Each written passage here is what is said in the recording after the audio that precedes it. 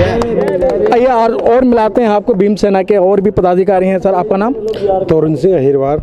अहिरवार जी आप भी मध्य प्रदेश से हैं? हाँ मध्य प्रदेश तो मध्य प्रदेश और जैसे भारत के अंदर पूरे भारतवर्ष के अंदर इस तरीके का आक्रोश है लोगों के अंदर अगर कोई घटना घट जाती है उसके बाद में वो बाहर निकल कर आते हैं। अगर पहले से अगर जागृत किया जाए अगर जागरूक हो जाए तो समाज पे इस तरीके अत्याचार नहीं होंगे।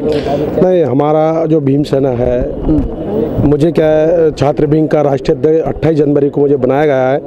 हम जब से मध्य प्रदेश में पूरा लगातार जो भी एजुकेशन सिस्टम है, उसमें हम संस्थाओं में जाकर के, हॉस्टलों में जाकर के छात्राओं को छात्र छात्राओं को अवेयरनेस कर रहे हैं और पहले से ही अवेयरनेस कर रहे हैं। लेकिन ये मनुवादी सरकार छात्र छात्राओं को आश्वासन देती है कि हम आपको रोज़गार देंगे। पिछले इलेक्शन में जो उन्होंने वादे किए। दो करोड़ दो करोड़ नौकरियाँ हम रोज़गार सज्जित करेंगे प्रत्येक वर्ष। लेकिन आज देख लीजिए दो करोड़ के दो लाख भी रोज़गार सज्जित नहीं हुए। हैं। और कह रहे हैं पकोड़े बनाइए। पकोड़े बनाकर आपका रोज़गार खुद चलाइए। तो इस प्रकार के नरेंद्र मोदी जी ने जो कमेंट किया है S C S T schedule का शेड्यूल ट्राइब और अदर बैकवर्ड क्लास के छात्र छात्राओं पर ये बहुत ही निंदनीय है।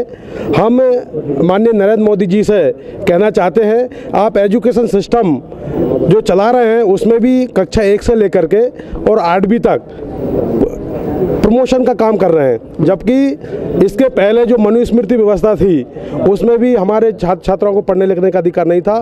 भविष्य में यही षडयंत्र रच रहे हैं कि इसी प्रकार की व्यवस्था जो पहले जो रूढ़ीवादी व्यवस्था थी वो व्यवस्था आज भी यहाँ पर कायम हो मध्य प्रदेश और पूरे देश के अंदर।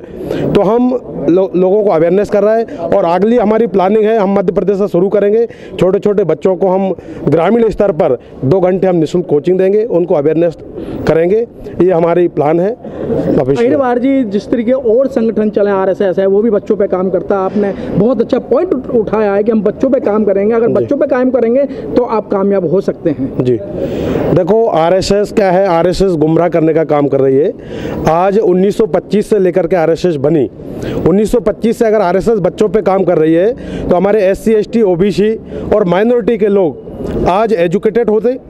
सर्विस में होते, अधिकारी कर्मचारी अच्छे से होते, जो रिजर्वेशन के कारण जो अधिकारी कर्मचारी बने, वो डॉक्टर बाबा साहब अंबेडकर की वजह से बने हैं, ना कि आरएसएस की वजह से। जो देन, जो अधिकारी कर्मचारी बने, हमारे S C S T schedule का शेड्यूल ट्राइब के लोग जो एजुकेटेड हुए हैं, वो बाबा साहब की देन है, भारतीय संविधान की देन है। आरएसएस की इसमें कोई देन नहीं है, आरएसएस गुमराह करने का काम कर रही है, लोगों को तोड़ने का काम कर रही है, उनको अपमानित करने का काम कर रही है। धन्यवाद।